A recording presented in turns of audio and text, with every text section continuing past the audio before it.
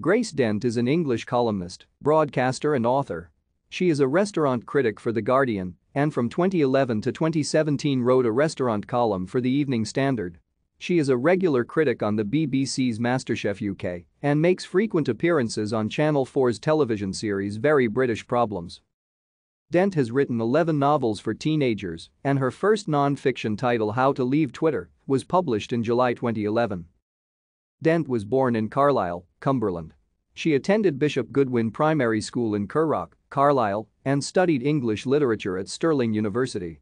While at university, she wrote features for Cosmopolitan after winning a place on their student advisory panel.